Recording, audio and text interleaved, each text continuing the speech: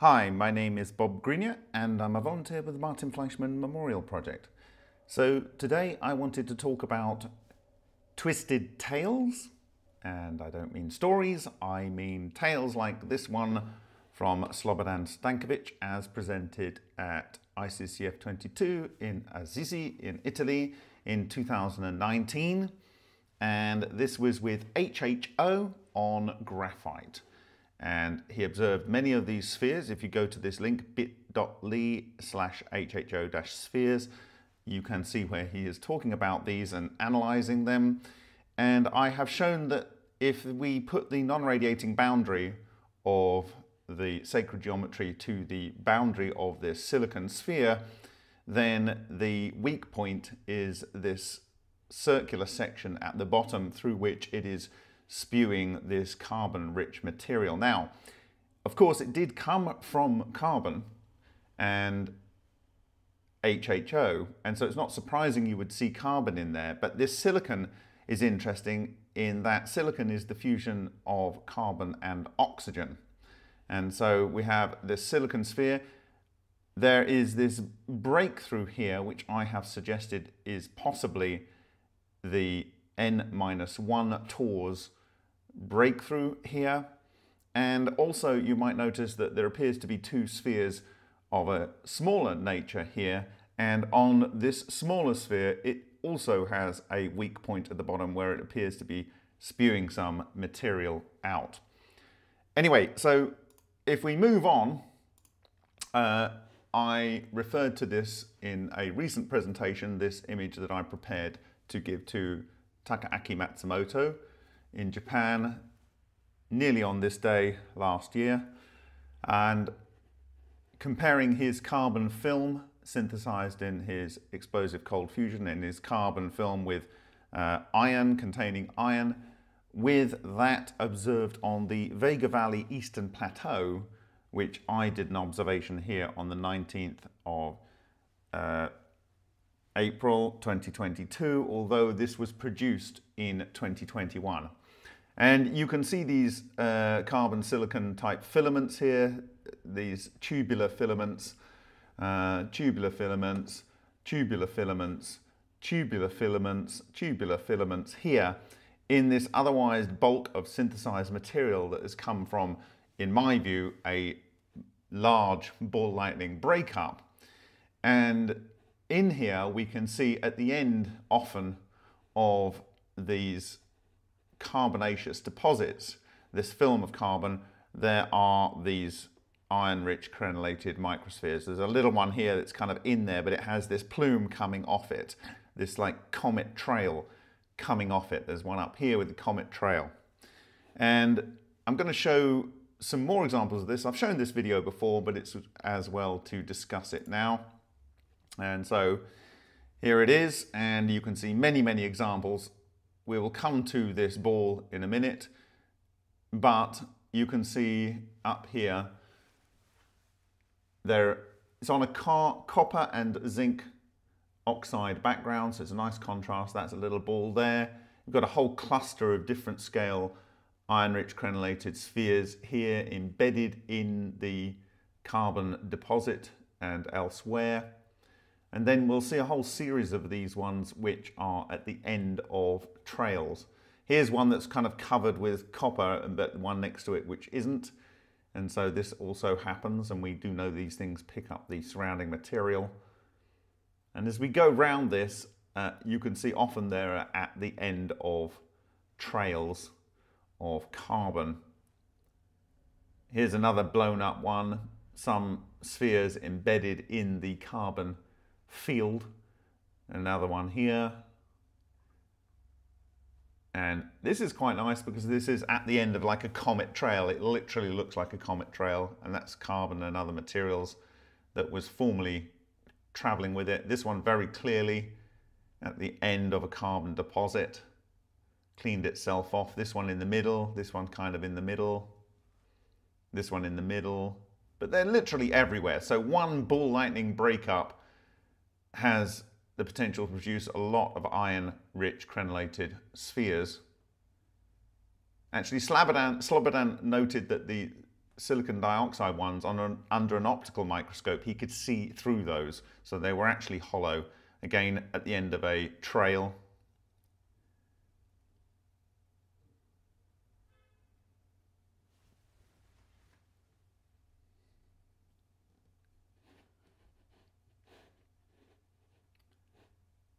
So we look at this one and we see that the trail itself has sulfur, which is fused oxygen, and then carbon and oxygen uh, in there. It's probably looking through to the oxygen that's on the copper and the zinc.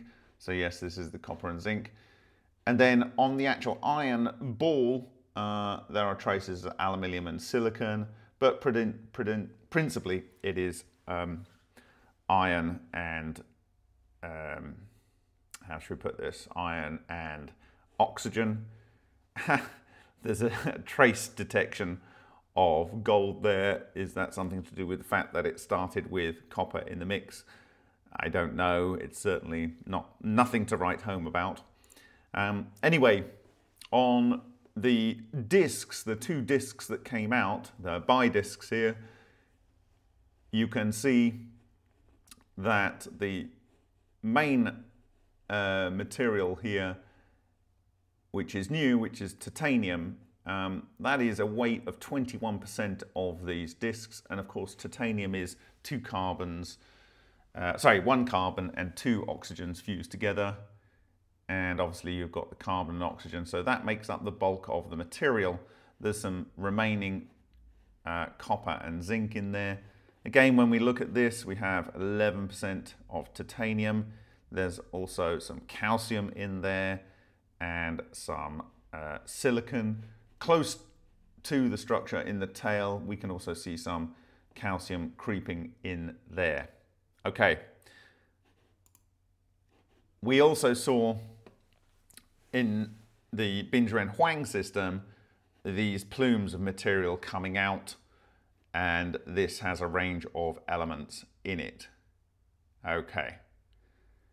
So what I'd like to do now is look at a new deep zoom image and I'm running on a first generation M1 MacBook Pro and I downloaded the two week trial of Windows 11 combined with uh, Parallels from parallels.com. And if I swipe over, you can see here that I am running the Phenom image viewer here on a Macintosh. And what I've done is I've copied the DZI into a RAM disk. So I will include the place where you can download the RAM disk for your Mac.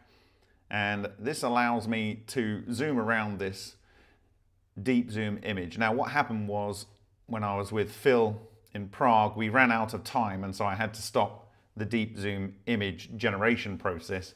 Unfortunately, it saved everything here and it's very fortunate because since we have seen in um, here in this O-Day deep impact, you'll recall we saw the impact here with these tendrils coming off, these filaments coming off, and the one that came up here and there was an iron-rich crenellated sphere with a shepherd's crook uh, hook around the top uh, of um, other material. And so this is another example of these iron-rich crenellated spheres coming from uh, the breakup product of the uh, ball lightning-like structure. And once you've seen this, and you've seen it across multiple systems, so in Henkurian's system and in this system, you can then kind of go ahead and see if there are any other examples and it is incredibly striking. They are literally everywhere. It's like that case when you find a new word. And so if we go into this structure here and we zoom around, and for those that do have an M1 series MacBook, this is a very good solution to uh, seeing this so you can see here, uh, this example here is really rather nice.